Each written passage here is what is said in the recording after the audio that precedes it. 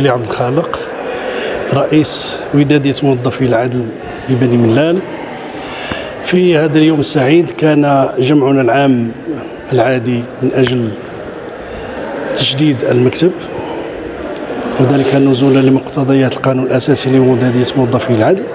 هذه الودادية التي تقوم بعمل جمعوي هام في إطار الاحتفاظ بالمكتسبات المهنية والاجتماعية في قطاع العدل.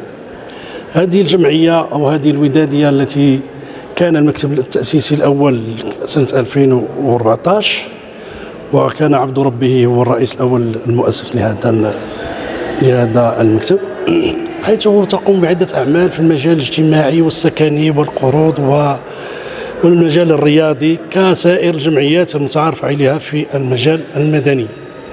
وكانت مشاركة الجمعية الودادية في عدة محافل محلية وجهوية ووطنية كذلك رياضية وثقافية وفي إطار تفاعل مع المجالس الجهوية للثقافة ولمجلس حقوق الإنسان فإن تكون دائما حاضرة في هذا الإطار حيث تقوم بإعداد الندوات وكذلك بإعداد البطولات المحلية لكرة القدم المصغرة وعدة أنشطة كثيرة لا يسعني الوقت حالا لذكرها.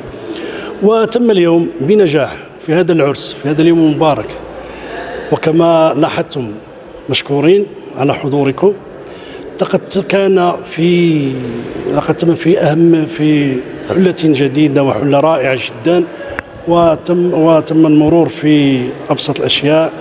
تمت المصادقه على التقريرين الأدبي والمالي وكذلك انتخاب مكتب جديد الذين كلفونا من جديد بالمسؤولية التي هي تكليف أكثر من تشريف وأتمنى من الله صادقا أن أكون في حسن ظن الجميع وشكرا جزيلا لكم مرة ثانية.